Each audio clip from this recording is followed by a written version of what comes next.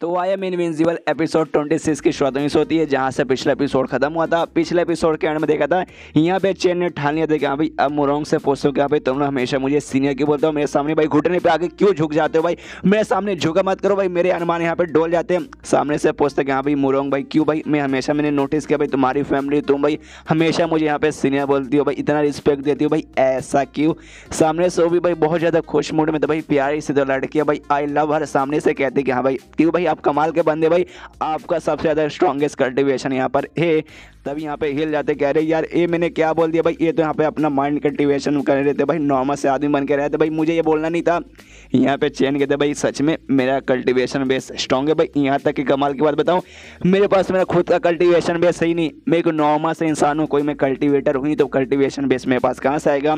यहाँ पे मोरंग पूरी हिली हुई है, पूरी कापरे पूरी डरी, कह रहे यार, ये मेरे मुँह से क्या निकल गया भाई?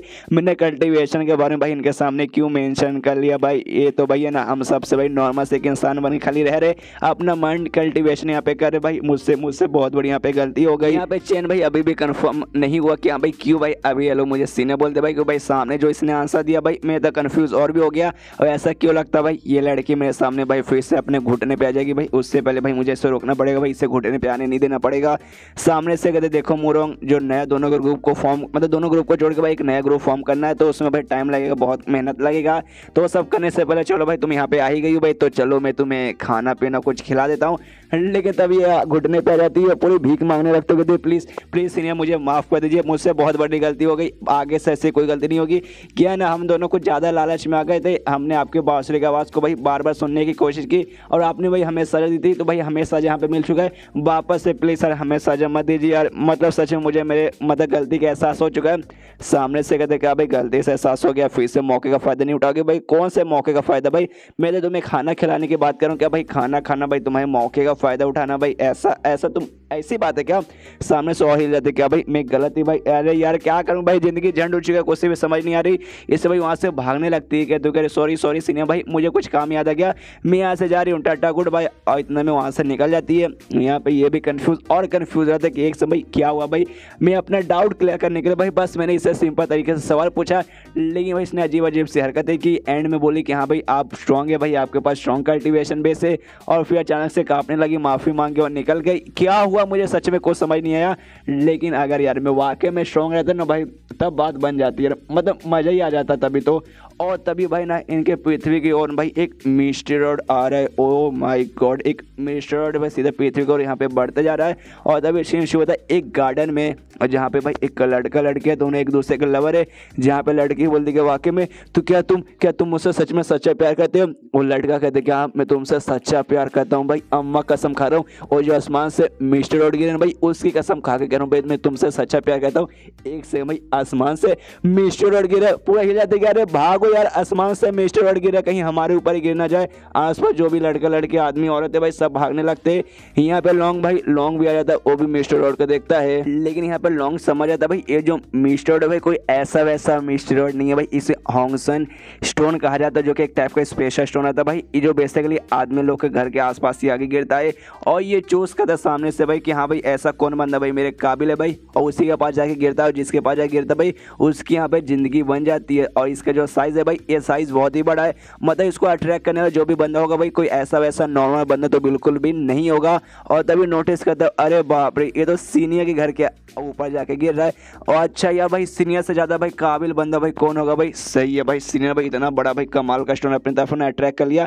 लेकिन भाई अब क्या करेंगे भाई सीनियर्स को रोकने की कोशिश करेंगे या फिर गिरने देंगे? रोकने की कोशिश करेंगे भाई, मैं उनका मतलब मूव्स वगैरह देखना चाहूँगा कि हाँ भाई वो कैसे लड़ाई करेंगे। और तभी यहाँ पे भाई जो मुर्गा रहता भाई मुर्गा नोटिस कर लेते कि अरे बाप रे भाई, ये स्टोन आ रहा भाई। अरे यार, इस बार तो हमारे महाराज का लक इतना बढ़िया था भाई। इस बार उन्होंने इतने बड़े पत्थर को बुला लिया, लेकिन नीचे आएगा तो भाई बर्बादी ही हो जाएगा। लक वगैरह बाद में अच्छा होगा, लेकिन पहले तो बर्बादी हो जाएगा। हमें रोकना पड़ेगा। अरे मच्छी मेरे यार, सुन भाई, इस बार साइज़ बहुत ही ज़्यादा बड़ा है। जॉनी सीन से भी बहुत ज़्यादा बड़ा है। इस वजह जाके भाई तू ही रोक। मच्छी बोलता है don't worry I am here then why fear और आ जाता है अपने ड्रैगन के रूप में और सीधा भाई जाके उसको रोकता है और उसका डायरेक्शन चेंज करके उससे कहीं और फेंक देता है। ले भाई, हमें कोई गुड लग नहीं चाहिए। भाई, दफ़ा हो यहाँ से। और यहाँ पे जो रहता है ना भाई लॉन्ग लॉन्ग भी सारा कांड देता है और उसकी दुनिया हिल जाती है। एक समय भाई, एक ड्रैगन निकल रहा है। भाई, सीनियर के घर से कि अरे बाप रे मतलब सीनियर के यहाँ पे ड्रैगन वगैरह भी पाल के रखा है। इसके बाद से भाई लॉन्ग अपने घर पे चल जाता है। वो सोचता है कि हाँ भाई बार सीनियर ने किसी और को भाई गुड लक का मौका दे दिया। अब वो जो मदर स्टोन भाई, किसी भी बंदे के घर के ऊपर जाके गिरेगा।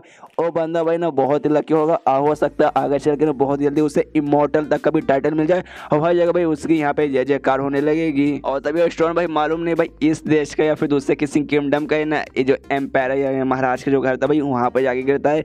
जिस जगह भाई उस दिन तो भाई घर में तबाही हो जाती है, लेकिन भाई कुछ ही दिन बाद ना गुड लक आने लगता है। प्रिंस के पास कमाल कमाल की पावर आती है। हर जगह फ़ेमस होने लगता है भाई, हर जगह भाई उन्हीं का नाम आने लगता है। बहुत ही भाई पूरे देश में भाई नाम ही नाम यहाँ पे हो जाता है।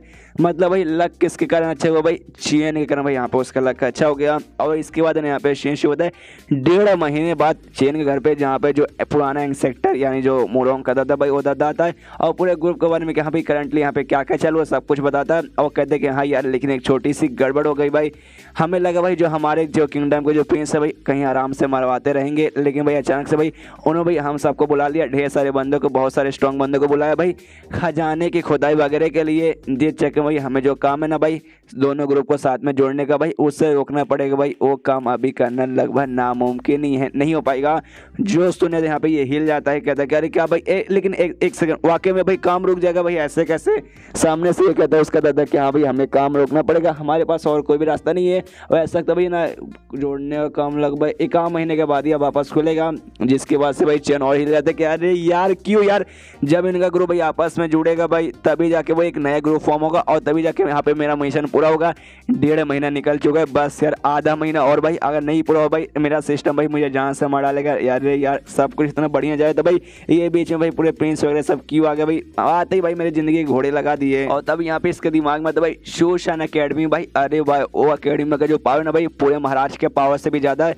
तो उनको बोल के भाई, इनका बेच का जो लफड़ा भाई ना, वो यहाँ पे सॉल्व करके भाई ना आराम से ग्रुप वगैरह को ज्वाइन करने काम करवा सकता हूँ। तो यहाँ पे सामने से मुरों का दादा खुश किया भाई, आपकी जान पहचान अकेडमी वालों के साथ भी अरे यार फिर तो मज़ा आएगा भाई, जल्दी से उनको बताइए।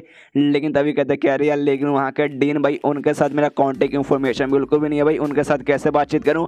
I don't have any idea यानी उनसे मदद नहीं मांग सकता।